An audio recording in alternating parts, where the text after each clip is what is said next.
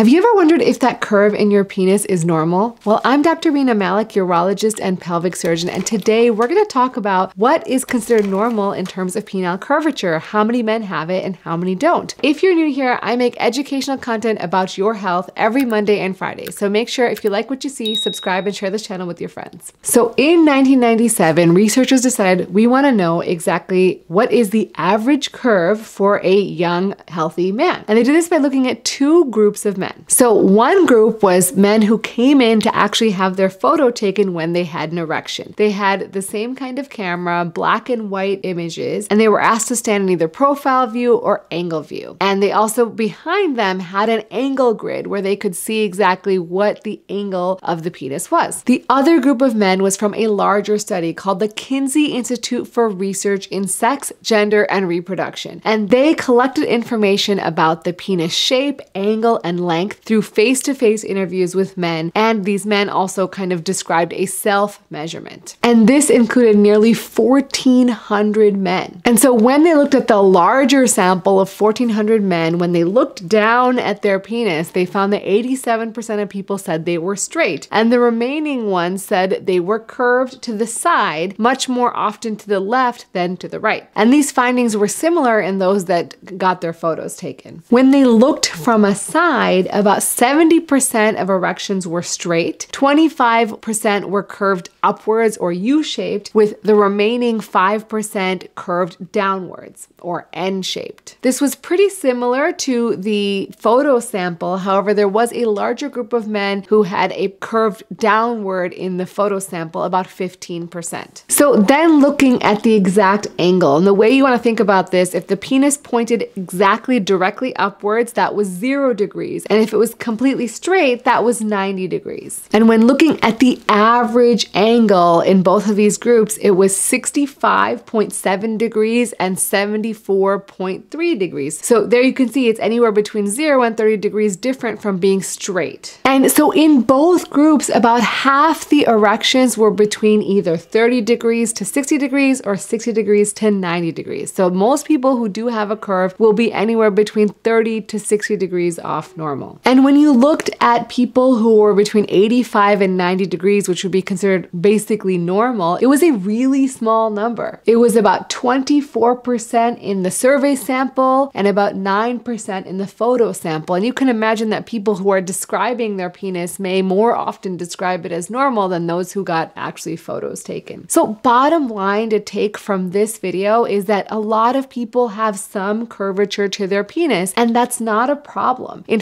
fact, as long as you're having normal intercourse and you're having pleasure and your partner's having pleasure, it's not a problem at all. If it is becoming bothersome or you're noticing a distinct change from previously, you may have something called Peyronie's disease. And you can learn more about that in my last video about Peyronie's disease. As always, I hope you enjoyed this video and always remember to take care of yourself because you're worth it.